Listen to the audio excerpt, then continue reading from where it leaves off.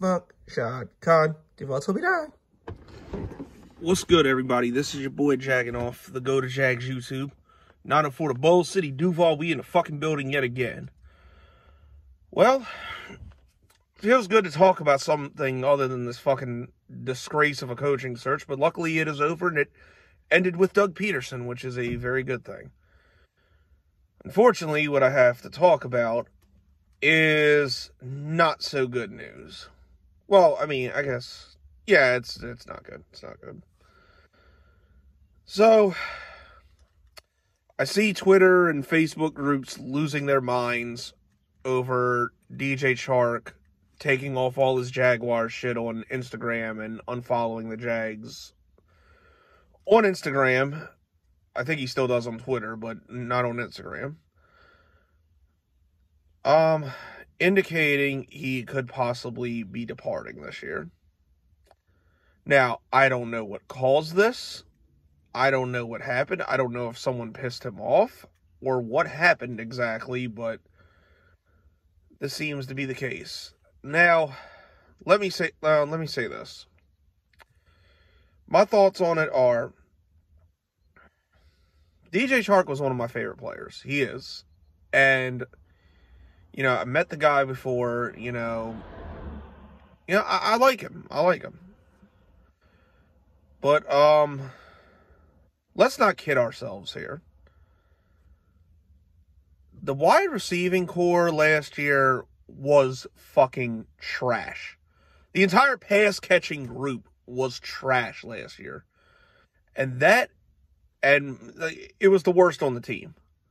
Like it was the worst position group on the team, bar none.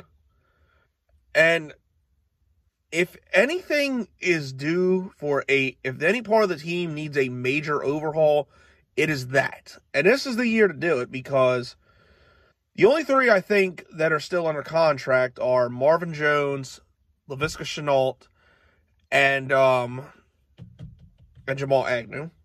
Kind of the same with tight end too, because you know, obviously we have a number one tight end with Dan Arnold. He's under contract. Um, and then we got, and then Chris Dickerson is under t- contract, and then Will Ferrell's under contract, and uh, James O'Shaughnessy and uh, Jacob Hollister, they're due to become free agents, which honestly, they both can fuck off. I don't need them. I'd rather get Zach Ertz. But, um, yeah. That whole unit is due for a major overhaul. And as much as I like DJ Chark and as much potential as I think he has, his career in Jacksonville has somewhat been underwhelming, to be completely honest. You know, had, you know, let's look at it. His rookie season, he was some shit. Then his, then the next year was his Pro Bowl year, his thousand yard season, which was really good. We thought he was on his way. Then, um, 2020, he was alright.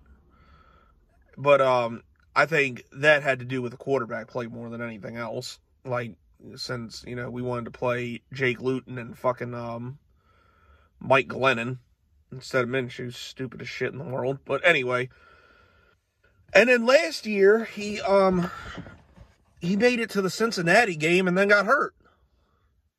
So and he didn't do much before that either. Like I think week one he had 80 yards and a touchdown. But after that, that was kind of it. So, and like I said, the, the team is due for a major overhaul. So, I'd like DJ Chark back. I would want him back. But at the same time, I'm not to lose I'm not to sit here and lose my mind over if he doesn't want to come back. Like if he's mad at us or whatever and you know, he wants too much money, he wants to fucking um or he just wants to leave, I wouldn't get into a bidding war over him. I re- I'm sorry, I wouldn't. Unless you want to fra- unless you want a franchise tag, in which then that's going to be a whole thing, I'm sure. If he gets that and holds out and shit, like, I mean, he's I mean he's really the only one worth using it on, maybe besides besides maybe Cam Robinson.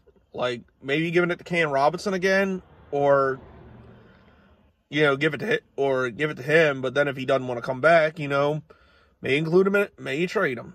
Like try to get something for him at least, and um, I don't know, maybe package him in a deal for Calvin Ridley. Who the fuck knows?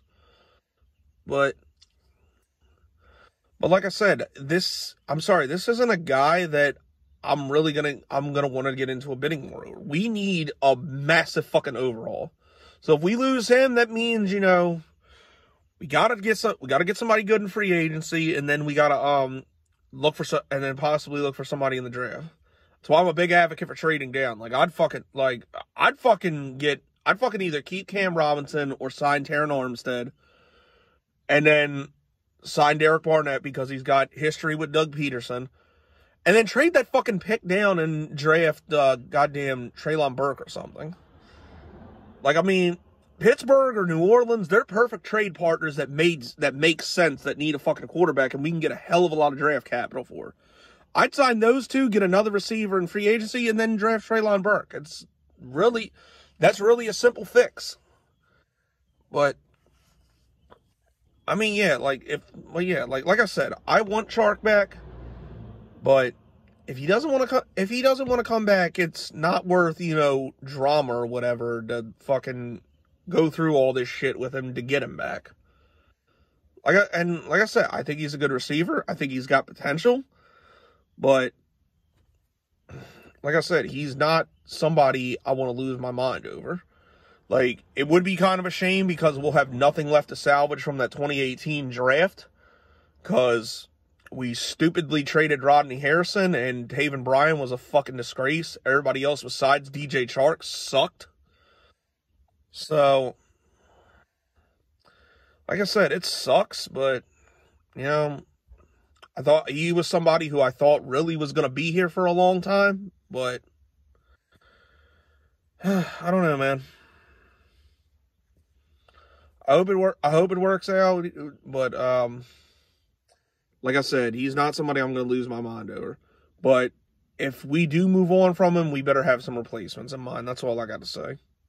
But um, I don't know what y'all think. But let me know what y'all think. That's it. That's all, people. Been your boy Jaginoff. Go Jags. Duval till I die. Go.